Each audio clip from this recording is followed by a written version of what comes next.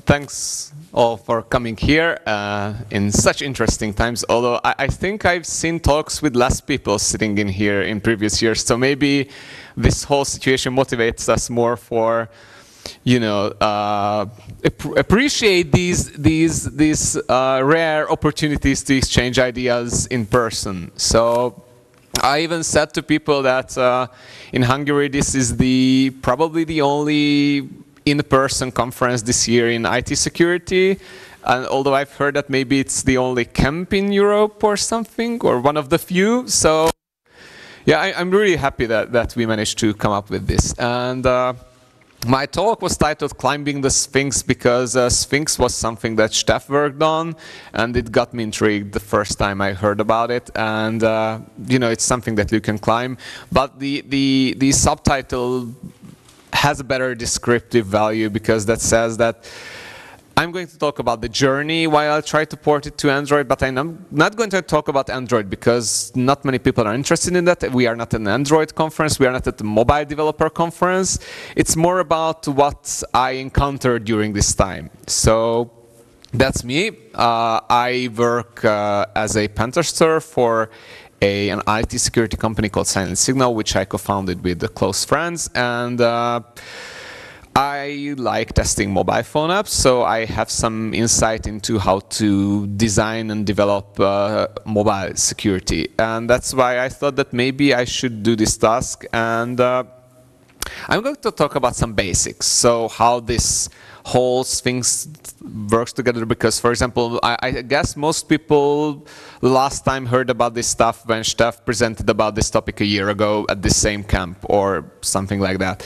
And uh, I want to bring everyone to a kind of a baseline where we start from the same point and we know where to go from there.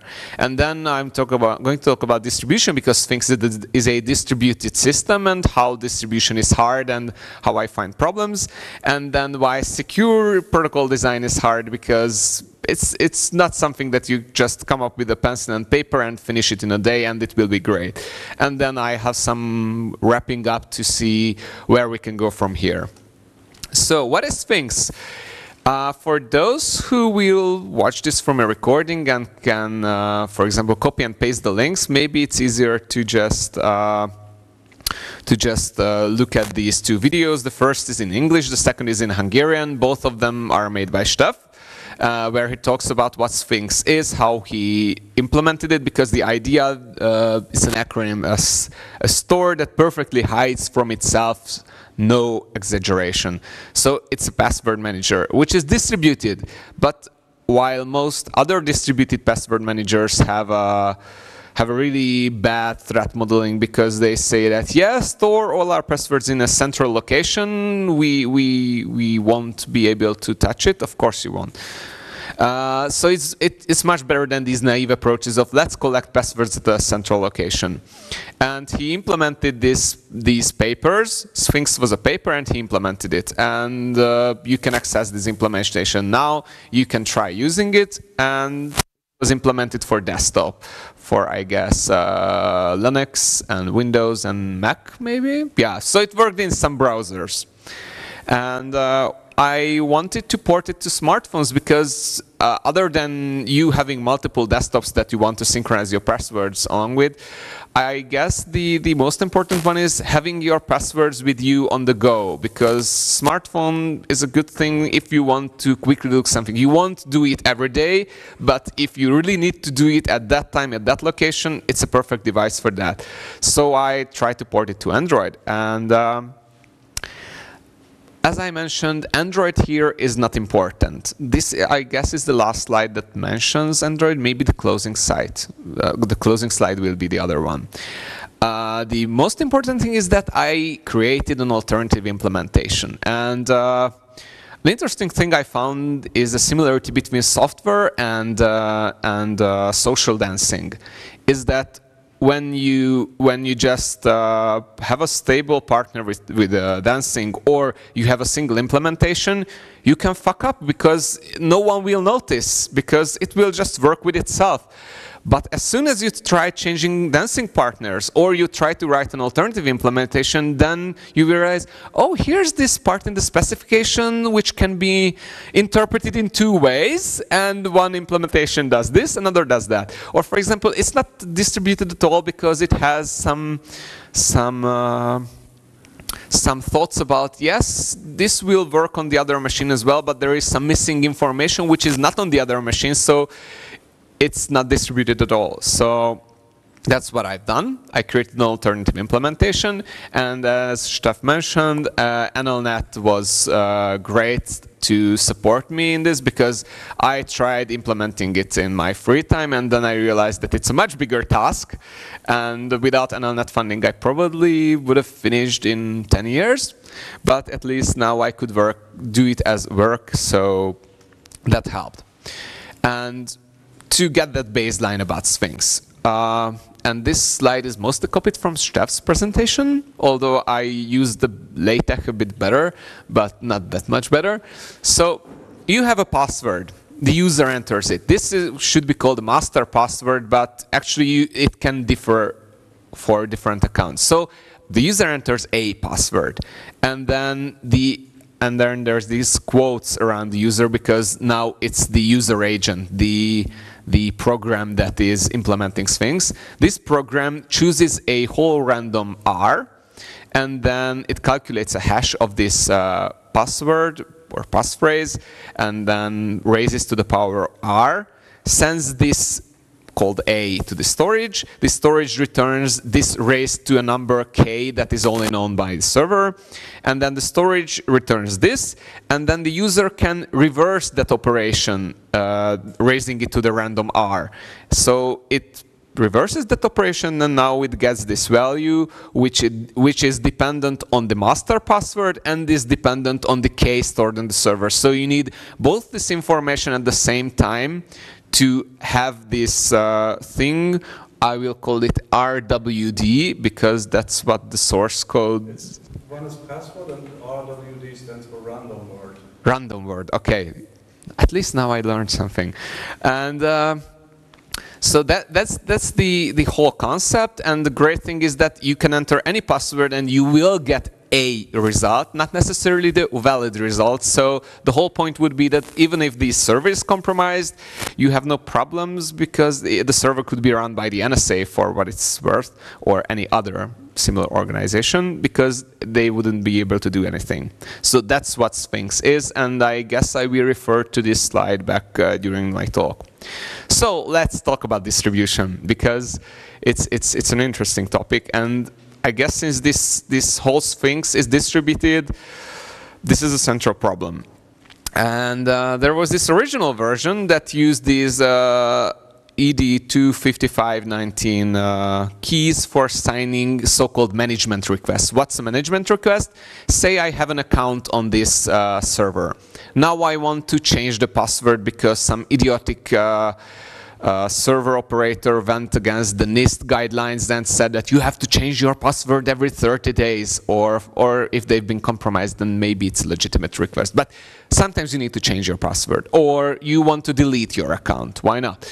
These are management requests, and uh, the original version had these management requests signed so that only the user who created the, the account can for example, deleted it because otherwise it would be bad if someone else could delete your accounts. And uh, the problem was that there was a single key which was uploaded during the create request. So you said that, okay, we'll create a new account and this is the public key and only accept management requests for this account if it's signed by this public key. But since it was the same, for example, I ran this uh, little uh, script in shell, I could count that I have 12 uh, things in the data directory where the file called pub, this is where the original implementation stored the, the public key. Uh, I SHA-256 summed it, so I got a nice output, and then I sorted them and said that uh, count the unique lines, and I have 12 accounts that were tied to the same public key. So it's obviously bad because then the, the, if the server is run by a malicious actor, or if the server is compromised, we don't really care because the outcome is the same, they can have a really good idea which accounts belong together. It's not a full compromise of the system, but it's something that we can easily improve. Uh, for example, by, by having separate public keys. And of course, I could store these, but that would also be problematic.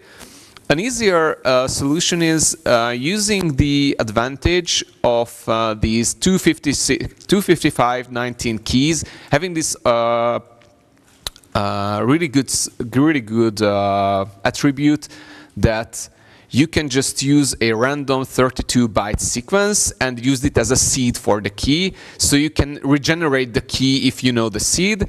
And now you can generate them deterministically, unlike, for example, RSA keys, which have a bit of problems in this regard.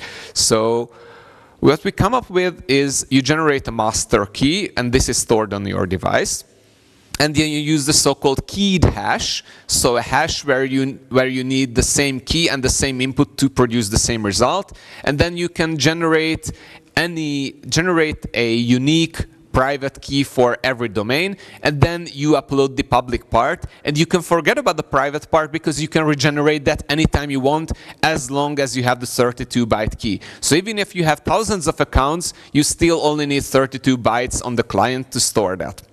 And now, for example, if I, if I use this and I try to see how many different public keys I have, now I have thousands because all of them differ. They could belong to uh, 1,265 different users or the same user having this many accounts. There is no way I can tell as a server operator now. So th this was a uh, really, really good thing to find. Another thing is that say your device is compromised, the whole notion of using this distributed thing should be that even if my device is compromised, they cannot find anything because it's better, it has cryptography in it, it must be good. So as I said, we had this key for signing management requests. How do we synchronize this key? And uh, uh, we had this, this idea of using QR codes because they can be easily read by a camera phone displayed on any screen so you won't have to deal with network security and everything, getting the two devices in the same network because it's a problem. And uh, because QR codes uh, get larger and larger with the more data you put in, uh, there, it's kind of tricky to put binary data directly because it, it uses binary data, but many libraries don't expect this because most users are just, yeah, I just use base 64 and put URLs into QR codes. No, I want to put binary data, so I, I even had to patch a library to get access to the raw data, but it worked. But the problem is, what if this key gets compromised? Then we get a denial of service situation because now anyone can delete a user's keys just because they have access to, to this uh, signing key. And uh, we, we were thinking about this and we didn't find a clear answer because we, we had the idea that what if we include this RWD, the random word, in the computation? In that case, uh, you do the full Sphinx cycle. So you act like you want to get your password again back from the server, and then use it part of the computation to get the signing key that can be then used to actually sign the request to delete or remove or change the password. If we include it, then we have another problem, problem because if someone compromises the user's master key and the server, or already owns the server, as with NSA, now it's possible to do an offline brute force on the master key because otherwise for every valid master key, you get a valid looking password and you have to do an online brute force on the real website where the account belongs to. But in this case, it can be turned into offline brute force. So you have to make a trade-off between is my uh, is my availability more important or is my confidentiality is more important? So right now we are thinking about uh, making a kind of switch into the application to so that the user can make an informed decision whether they want to accept this risk or that risk because it depends. Some people will say, I, I don't give a flying fuck about uh, my accounts being deleted while I'm more conscious about my passwords getting stolen or the other way around. So it's a trade-off. There is no, no silver bullet and uh, here I can show you the part of the solution. It's in Kotlin, which is an interesting language. And uh, we, are, uh, we are going top down. So when we want to do an authentication, we just say that, OK, read the nonce from the server. So the server sends a nonce. And then we sign that with the signing key. But how do we get the signing key? Well, we create it from a seed by folding the signing constant, the ID that we want to authenticate. The ID is something like username at hostname, but hashed so the server doesn't see it. And the RWD, the random word, which we got into this. So if I remove that, there will be no need for uh, a valid password, but then you can get a denial of service situation. And this is uh, just a simple transformation so that I create a beautiful list of what to hash together uh, so that I can use fold because there are some Clojure people here who like using fold because it's more beautiful than using a, a, a simple for loop. Actually, I, I also like it better. So this is how it works and, and uh, that's how we solve this problem. And then, of course, we have the problem of UX. A user goes on a website, and now whether he or she remembers the username for that site is important because the username, as I mentioned, is also calculated as part of the hash. So if you don't remember the username, you cannot get the password as well. So either you remember all your usernames correctly, or you need to store them somewhere. And the original implementation that's just stored it locally, which is easy and, and works every time, but it's a pain in the ass to synchronize across devices. So it should be stored on the server as well. But then all the devices need to have read-write access because you probably want to have the ability to add accounts on all devices, deletes accounts on all devices, otherwise it's not a really distributed system. So we said that, okay, now we need an end-to-end -end encrypted uh, blob storage. So the server just stores a bunch of bytes and uh, then gives it back. Of course, it's the duty of the client to encrypt it because if we trusted the server to encrypt it, then we wouldn't be in this trouble. And we decided we won't we won't use uh, this authentication here. Um, I guess it's fine, but if you have any idea why it's not fine, I mean the the attacker model in this case would be if someone compromises the devices of the user they can get access to which usernames they have accounts to on specific sites. I mean, they probably already have access to the user, the the HTTP caches of the browser if they compromise the device. So I guess it's on the same level. Yeah. Uh, I was gonna say basically the same thing, except from a passive global observer perspective. Yeah. So.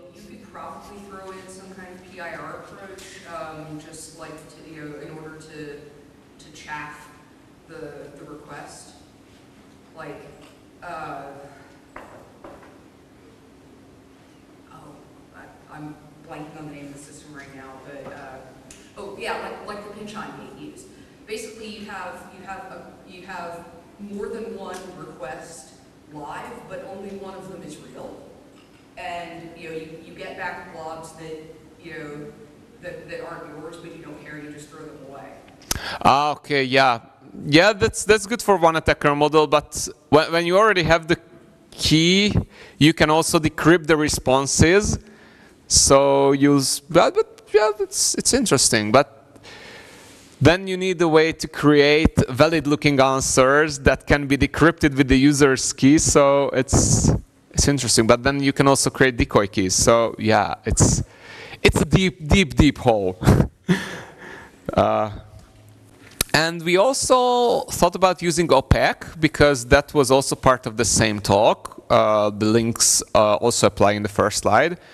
Uh, that could have been also used for this stuff, but then we wouldn't have had the flexibility to implement this, this trade-off option because OPAQUE works in one way and not others. So, so even though it would have been really beautiful, and, and we were like, oh, it's so good. It's, it's, it's the typical thing with engineers and, and programmers when they say, this system would look so nice, but it's usually not a matter of whether it looks looks nice to developer, but the other way around, whether it's good for the user, has good security uh. So yeah, th that was the end of it. And now we get to the protocol design, which is also interesting. So the original version had the notion of uh, storing uh, the password rule on the server. But what's a password rule? So you get the random word, the RWD, but that's just a long number. Let's treat it that way. And it has high entropy, which is good, but we need to turn it into some password which can be used on the target site, which might have different policies. So for example, we have a the, the biggest Hungarian consumer bank has a limitation of eight characters on the password maximum. Yeah, let's not talk about that. So, so if you have a site that has restrictions, you need to come up with a way, and Steph came up with encoding uh, in a bitmask what character classes are supported, because some places restrict the character set as well. Let's not talk about that as well. And how long the password should be. And these should be stored on the server because these need to be distributed as well because otherwise they won't be transmitted to other devices. You have a question? And um, so this is this obviously also needs to be encrypted and then uploaded next to next to the rules. So when when the when the when the client asks for it, it gets the random word and the rules, and now these two can be used to create the password. Great. Uh, the problem is that the original protocol ran directly over TCP. And it was okay for most purposes. I mean, it's again the beauty in the eye of the engineer. Since the RWD has already been blinded with, with that uh, R factor, it can't be used by anyone who doesn't know what R is. And R is generated on the client and is thrown away immediately. And it's high entropy, so it cannot be guessed. So, so it's not a problem. The request had no personal information because it only co contained the, the ID, but that was also encrypted with the server's public key. So no problem there. The problem is that the response contained this end-to-end -end encrypted rule. And now you may be thinking, why is that a problem? It's end-to-end -end encrypted. What's, what's the problem here? And I'm, I'll show you the diff where we fix the problem. So just think about it. We read a file which is not written anywhere else, only at password creation. And it, it, we fail if it's not found. And then we send it back to the user along with this Sphinx value. So we have a file which has a content that doesn't change. We didn't don't care about the content, but we send it directly over plain TCP. So it can be used to track when the user requests the same account again, because this will stay the same. I don't know what's in it, but I can track that the same account is requested that I saw last time. So it, again, not a complete uh, compromise of the system, but a really nice side channel that may be used in some interesting attack because just look at how browsers are attacked these days. You have many, many small bugs, info leaks, and side channels, and then they can be combined with to a great attack. So yeah, and the and and it's really nice because it's you you don't even need to do a man in the middle attack. Simple eavesdroppers can listen to these. Uh, so we came up with this intermediate solution because we'll have a better one in next slides. That uh, you can actually convert between these two 5519 keys. And uh, you can convert one that can be used for signing to one that can be used for encryption. And then the server does another layer of encryption. So the inner layer is used so that the server doesn't know about my rule. And then the outer layer is used so that uh, traffic analysis becomes impossible because this uh, pack thing will be different every time it's us. So again, all the bytes will be different. So this is what we came up with. And then come the other problems. We, we go deep into this hole, uh, but I, I promise we'll come up to the surface. Uh, so we encrypted the request with the server's key, fine. But what is prohibiting me to just sending the same request I captured from the network again and again and again? So they can be replayed, and there is, of course, no forward secrecy. So if someone goes to the server Uh, and uh, after storing years worth of, of network traffic, gets the server private key either from a backup or actually breaking or maybe having the legal power to get those keys, they can use it to retroactively decrypt all previous communications. And that's a problem. That, that's why we only have forward secrecy key exchange in TLS 1.3 because it's a problem. Although I've heard that some banks don't like it. And, uh, and the other problem is that yes, it's not TLS and, and it doesn't needed really TLS, but many firewalls, they block things they don't understand.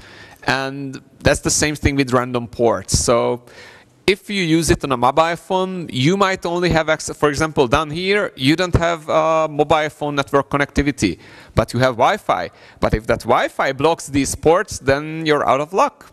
Even though you can enter the website that you want to log into, you cannot get your password because you cannot get through to the Sphinx server. So so I managed to to uh, to tell Stefan, and he I managed to get him agree with me on that TLS should be used against uh, instead of this homemade protocol. Even though the homemade protocol had really great ideas, and I liked it from an engineering perspective, TLS is better because they solve these replay attacks because they have whole separate units of using key exchange, using random injected into that and stuff.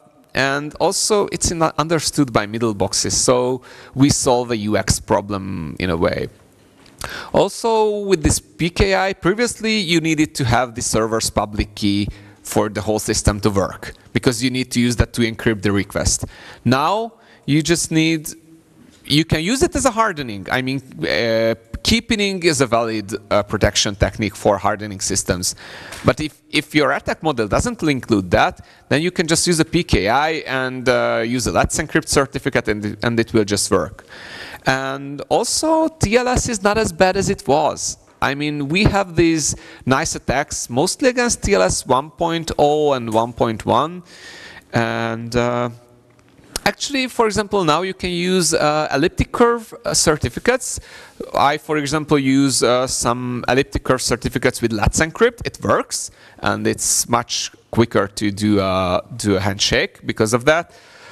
Although there is an RFC for for uh, putting uh, 25519 keys into certificates so they have the the assigned numbers so that the implementation can interoperate together the problem is that the CAB forum, the CA browser forum, which basically tells what the commercial CAs to do, they have this document on what key sizes to use, and they only mention the three NIST curves and nothing else. So according to this, no CA should be able to to create such a key, uh, sign such a key.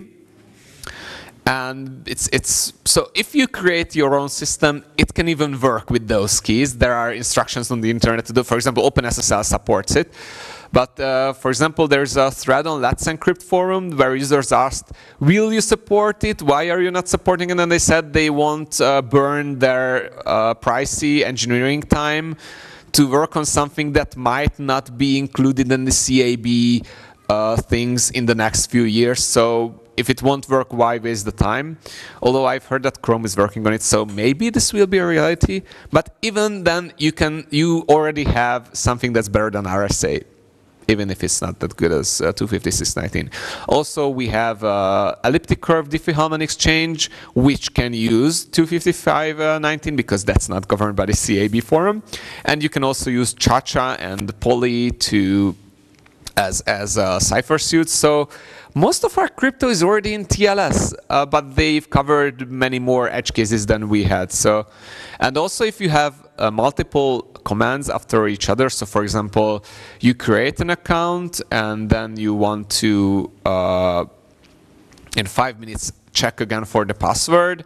Then you can use session resumption so that you won't have to go through all this TLS uh, handshake, so it will be even faster. So I guess TLS is not that bad. So we switched to TLS and now half of the crypto went out the window. It's a really satisfying change. If you look up my repository, the one commit where I removed around half of the crypto code because we switched to TLS.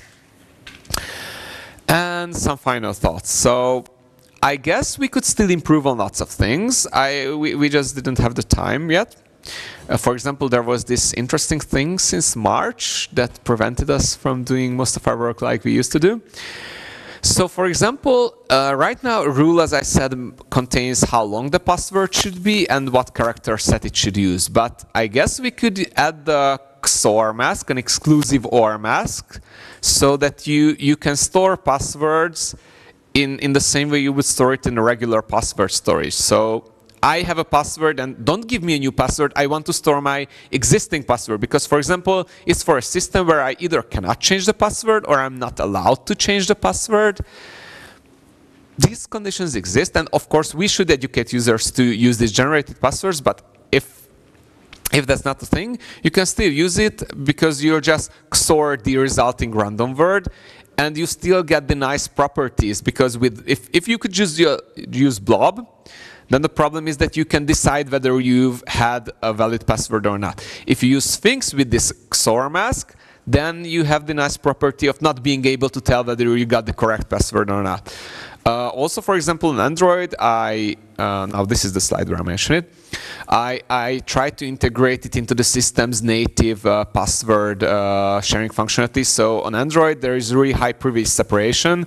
So I'm not in the browser process. The browser offers the users, do you want to fill the login information with this program? And when they say yes, I only get access to what fields they have on that page, and I don't have access to the whole uh, memory of the of the browser process. And I can say, okay, return this information.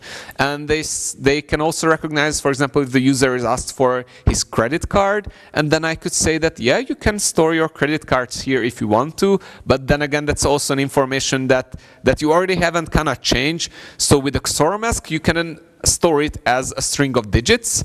And for example, if you don't include the check digit, an attacker cannot tell when he got the correct uh, uh, master password. So yes, I think this would be a good idea, but then we have this this problem which which is intertwined with this. And uh, as I mentioned, we encrypt the the password rule using Libsodium. And it has this nice secret box thing where it not only encrypts but provides integrity uh, protection in the same package. But it's a problem for us because now, even though we have this whole beautiful Sphinx system around us, we can tell if it's the if it's the good master password. So we just throw the whole thing out on the window. So we we for uh, yeah. So this integrity protection needs to be switched for one that that that cannot be decided that well. But but uh, for example, plausible deniability, I can give you any password and it will produce a convincing looking result, or online brute force. So in that case, you, he needs to test it online with the original uh, website. So you you yeah it, it's problematic. Uh, so my better plan would mean that first we remove this integrity protection, but that means we are writing low-level crypto, so it needs to be checked by many eyeballs so that we don't screw it up. And that's the explicit part. We might still have implicit. So for example, if right now we have these, uh, these bit masks, if there are bits that are always zero, that can be used as an oracle, whether it's a valid result. If the length of the password is, is implausible because they already know which side they are looking for, that's also a problem. So we need to come up with something that, that can mask it. Maybe we don't even need to have this encrypted. It's, it's, an, it's, a, it's not that easy. And maybe once we remove these, we can add an, op an optional thing where we, for example, store some bits of the random word so that you can tell the user when they, for example, mistyped their, their master password. But if you store low enough bits, it's still a reliable way. So for example, if you, if you store four bits, now there is one in a 16 chance that even though the check digit is okay, the master password was bad. And for an attacker, having 1 16th of the password to check is not that big of an improvement. We are talking about much larger sets. But for a user, having this idea of with uh, a 15 out of 16 chance of having a great sign that, yeah, you mistyped the password, it's not that bad. So I guess this could be improved. And of course, this is the closing one because now I show you where the Git repo is. So it's in Kotlin, which is an interesting language developed by actual developers. So it was not designed by a corporation to fit their um, agenda. So it's it's not only compilable to JVM but to native code as well without any Java in it. So for example, it can be used for an iOS port. So if someone is fluent in iOS, they can just reuse most of the code base and compile it directly, and it will run on iOS devices as well. Uh, the graphical interface is mostly complete, so it's not self-explanatory, so it still needs some help text at places, but the core functionality is there. So, for example, I tried using it and it works. And uh, pull requests are welcome. So it's up on GitHub. Anyone can see the code, try it for themselves. Uh, it's tricky to get a server because they are, you know, it's intertwined. So if you change something on the server which affects the protocol, you also have to change the client as well. But but you can actually use the V2 branch from Steph's uh, software and use my Android Androsphinx, and they will probably work together. Uh, so if you find anything that doesn't work or, or you can improve on it, well, feel free to submit one of those. And uh, that's what I want to tell you. Thanks.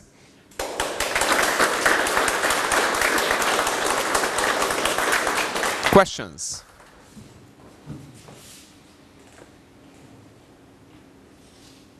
Hattie. What was the biggest challenge implementing on Android? What's the biggest challenge implementing on Android? Um, in this case, it was probably because that was my first time using uh, uh, native libraries, so I reused the C implementation of Steph. So I had to adjust the build environment so that I can cross-compile it to ARM and 64-bit ARM and and even on x86 you can't just transfer because even though I use Linux on my machine and Android is, has a Linux kernel, they have different uh, libc. Uh, Android uses, um, uh, how do you say, the more liberally licensed Bionic libc, not the GNU libc. So, sorry? And the different, different yeah, that's just, that's just putting more salt into the wound, yeah. So, so it's, it's like nothing, nothing that you will see on your machine. So even on x86, you have to cross-compile it because, for example, running in a virtualized environment so that you can test in an emulator, it's much faster if you use an x86 Android because then you can use your built-in native CPU virtualization. So for me, that was the hardest part, and I knew about it because that's about, I think, 30% of the budget I allocated for and and and it, it was a good job. Like I worked with the NDK for two years, the native development kit for two yeah. Yes, it is. Uh, uh, yeah, uh, and it was it it's it's not really that much documented because it's not used by many people. So even those people who use NDK, most of the time they just use the library that's been already compiled by someone else. So for example, for libsodium, I just put a line into the configuration and it just downloaded the precompiled libsodium for Android and it just worked and they had the wrappers around it.